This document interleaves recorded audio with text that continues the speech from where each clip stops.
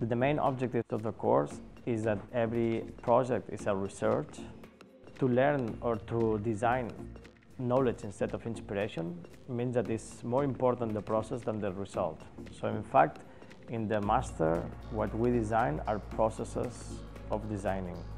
So I think the important thing about this course is that we don't teach exactly how to do things.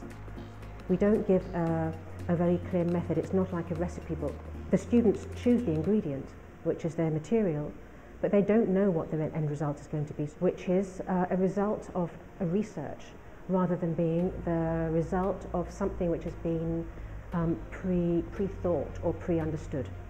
What we want is for the students to actually feel the materials that they're, that they're using, to understand how they're manipulated, what their properties are, what their structural properties are, so that really the, the, the projects um, are informed by the, the materials themselves.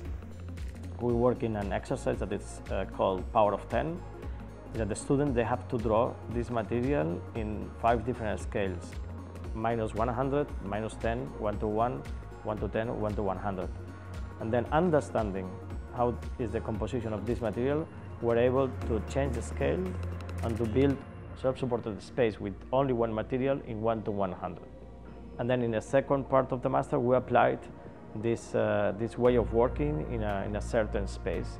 And through the, this methodology and process, we are very specific in something uh, that some client is asking us to do.